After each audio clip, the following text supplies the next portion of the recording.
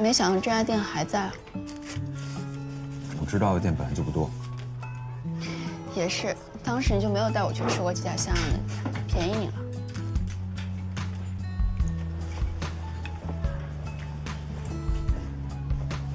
记得挺清楚。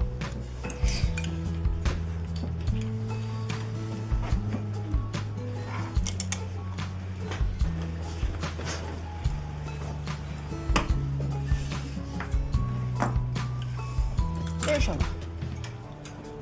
大事年表。你不是没时间吗？多久写的？你写的大事年表太普通了，都是些所有人都能查到的历史事件。但这种游戏得有猎奇感，需要更多细节。我整理几本电子书，还有论坛上的帖子，包括一些野史花边。野史，那我最喜欢看。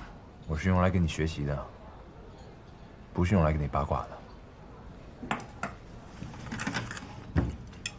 平时也不怎么玩游戏吧？我上一次玩游戏的时候还是……你告诉我你上次打游戏玩的是过河死。游戏。三次机会，没死我就去找死。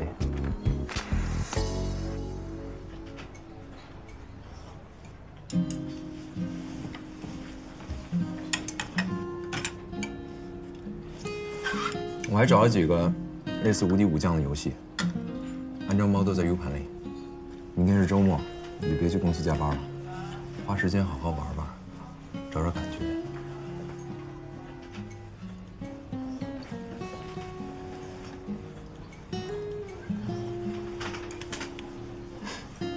脑袋一热就出头，也不看看自己有多大能力。你说两句好话会死啊？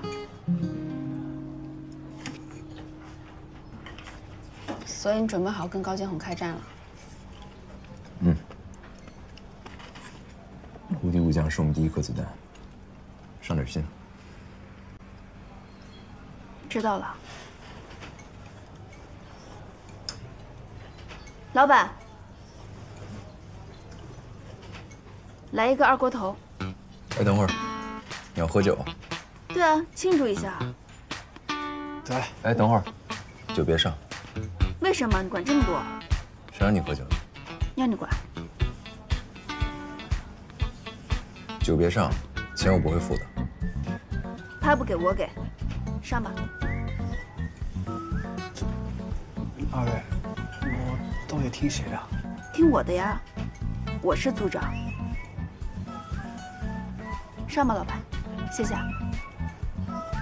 庆祝一下怎么了？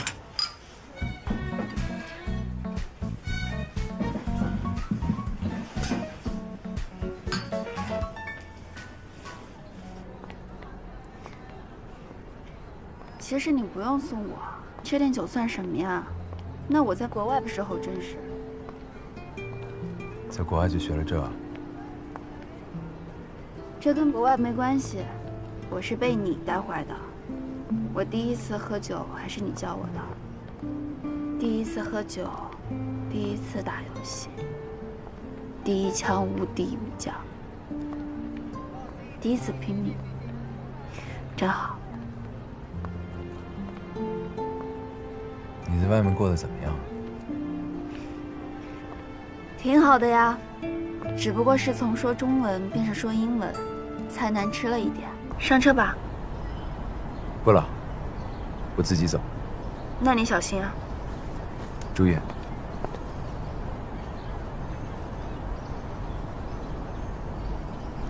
对不起。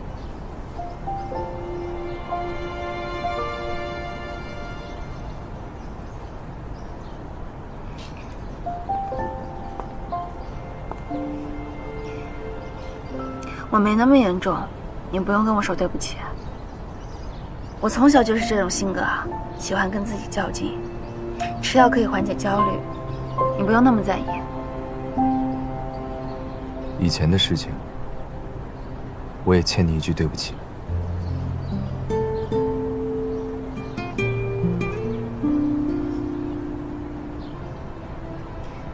李轩，高建宏有一句话说的对。一个人是爬不了山的。你不能低头，我不允许。嗯，李轩，李轩，给你介绍一下，朱组长的朋友，知名画家田修竹。著名的。认识。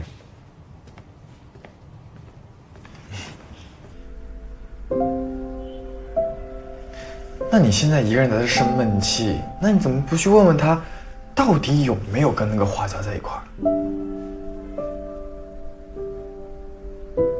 我问他，嗯，你让我问他这些，怎么问？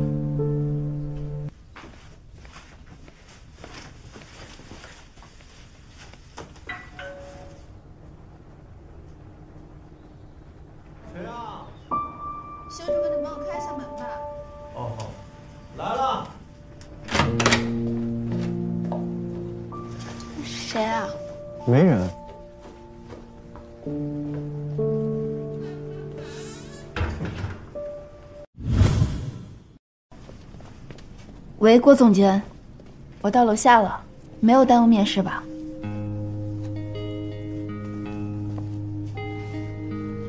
好，我马上上来。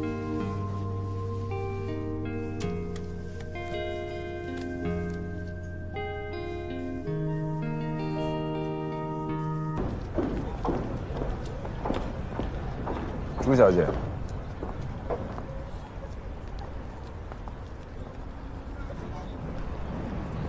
这么巧，好久不见。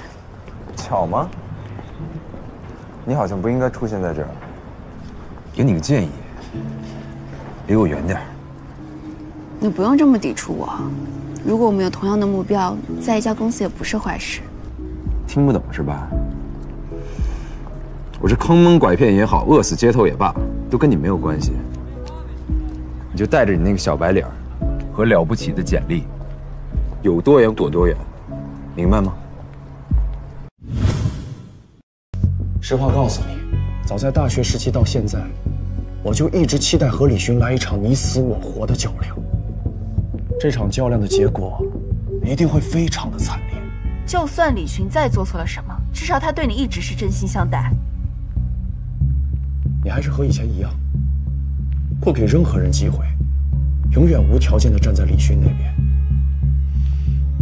相比大学四年到现在，他带给我的痛苦和折磨，这一刀还远远不够。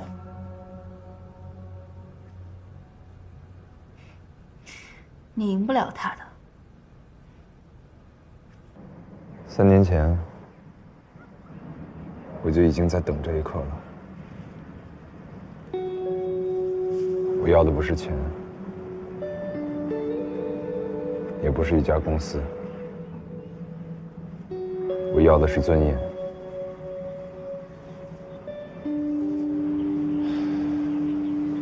我失去的，他都得还回来。